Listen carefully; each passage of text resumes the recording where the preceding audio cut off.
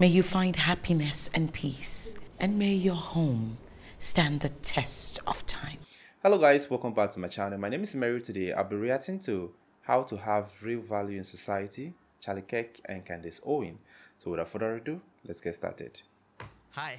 Um, so my question is, you guys um, were discussing blue collar workers and how they have a lot of wisdom, which I certainly agree with. I'm sure they do have a lot of wisdom.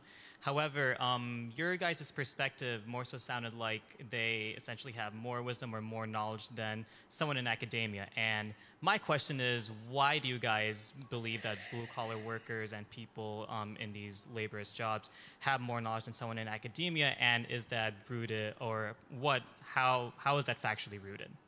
So I guess I would say, rather than saying wisdom, I would say that they have more real world value and currency than somebody who's writing papers trying to transform the world from a classroom. And I, I genuinely believe that. I believe that there is more value in learning to work with your hands. There's more value in learning how to raise productive human beings. I, I hate the fact that women are being sold a bill of lies and being told that they, we should be competing with men and wanting to run executives of you know Fortune 500 companies. I, I believe that we absolutely flourish in our feminine roles and that the toughest job in the world is being a stay-at-home mom and raising good children. That's true. Um, so to me, when we shifted those values and we stopped realizing that these people actually have the most value to society in, in society, we watched our social decline begin, and we have Wow. essentially been within a managed social decline for the last 60 years, in my opinion. I, I would add to that. Um, anyone has to take a sociology class or anthropology class here? Yeah, um, have a kid. You'll learn a lot more about human beings than anything a textbook could teach you. 100% true. Experience always is going to override what you can it- learn in a book. By the way, I would say you conflated two words, knowledge and wisdom. They're not Right. the same Yeah. thing.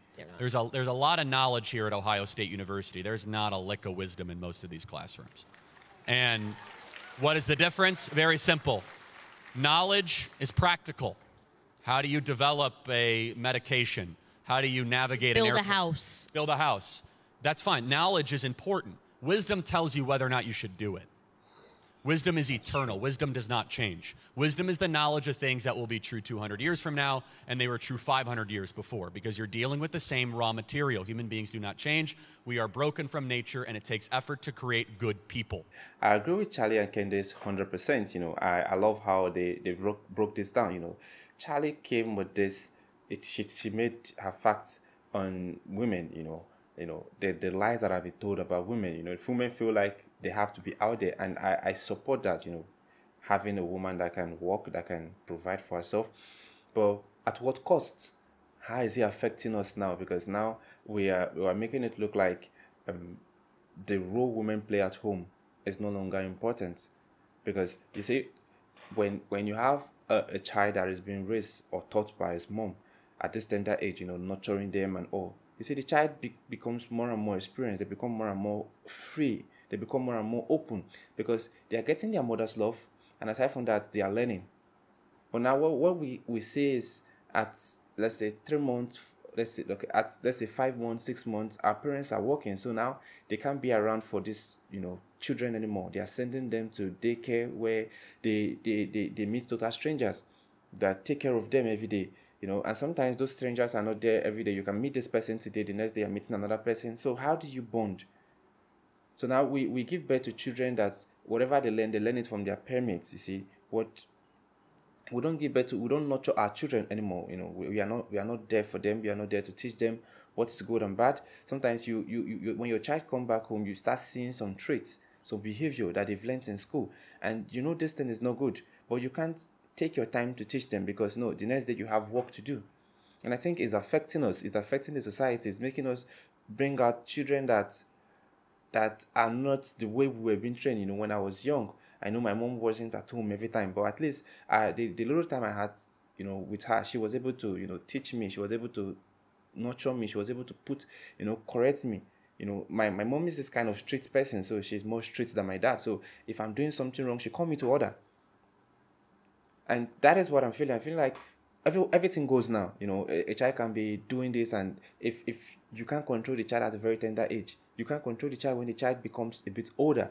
So if you want to make or blend the child, make a child you know, stop a certain lifestyle or stop a certain behavior, it's better to do it at a younger age. And I think that's what Charlie is saying. He said, let's embrace our femininity. Let's embrace. There's no there's no harm being a stay-at-home mom.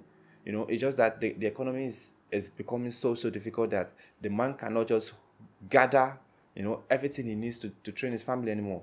You know, it's possible to have more and more, you know, different job, you know, try and take care of your family, but if there's a help, you know, beside you, you can do way more than that. And I think that is what women are trying. They're trying to at least help out. But we are uh, in, in that in helping out, we are depriving our children of so many things. And I think aside from that, Charlie made mention of um, you know, when it comes to blue blue worker and um, you know, people with their degree, I feel like experience beats anything, you know, it beats whatever you have been taught in school. You can they, they can teach you theory, you know, if you've not been to the work field you are just like someone that have not even had it, that that uh, what's it called theory at all. Because I remember when I was in school, I studied accounting and it was all about you know theory, theory, writing figures down and this. And the thing is, what is happening in the work field is different from what I've been teaching us because you know those those things we write down or they, they teach us in class, they've created software for them that can that can help you do them easily. So why then do we waste you know a full semester learning something that a software can can you can you can learn with your um, the software in a few minutes? Or we waste four years you know preparing ourselves for something that we've not actually gone to the field to see for ourselves you know? It's it's, it's painful. You see in, in, let's say you're studying communication you know they send you to let's say a, a tv broadcast you know um, station they send you to let's say the feed to see what is happening because they're, they're, they're preparing you for it. That is how it's supposed to be you know. You give them that experience because experience beats this whatever you're learning in school. You can you can you know graduate after four years and you are you are being given a job and someone that have not been to the four walls of the university can come there and put you through okay this is how we do it here this is how we do it here. So what is the point sending you out there to the field you know you can you can do a semester in class the next semester in the field semester in class the next semester in field i feel it will prepare you more instead of just doing your four years in the classroom and you go out there looking like someone that have not that, that have no experience at all. Anyway, I, I love this so much, and I love the fact that Charlie was able to explain to this guy, you know, going to school is not bad, okay, but getting that experience is way, way more important. It's you see, I've, I've seen people that have been with doctors, you know, they've they've been with doctors, they've they've been watching how doctors do things, even if they are not allowed to do it because they don't have the license. I'm talking about nurse um, nurses they, they don't have the license but they can do it. They can if they are being given opportunity they can do it even way more than these doctors that just graduated. But you know when when a doctor graduates and he's trying to let's say perform surgery on a, on a, on a, on a patient uh, you as a nurse have no right to tell the doctor that what you are doing is wrong even if you know it is wrong because you have the experience you have seen several doctors perform similar surgery. You can say it because they feel like you are not qualified enough to make that decision. And that is what we are saying. Sometimes it's not about you learning in classroom. Sometimes it's about experience because experience changes. This person can do this method today and it works. The next day another method can overpower what you learned yesterday. But when you're in the classroom they are they are repeating something over and over again what level 400 or length is the same thing you're learning in level level 100 even if the theory is wrong you will still learn the same thing even if the theory is outdated you will still have to learn the same thing except you are in the field where you practice every day, you you see that yeah, this theory is is right though, but it's a bit slow. You can find a faster route that will get you the work done. It happens when you have experience in the field.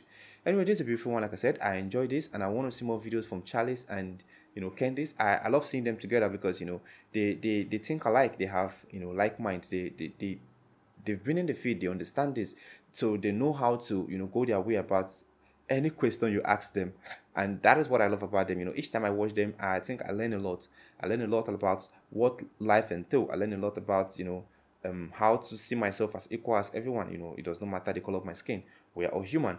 And like if you have any recommendation let me know in the comment section. It is your first time visiting the channel click on the subscribe button. Thanks for watching and remember bless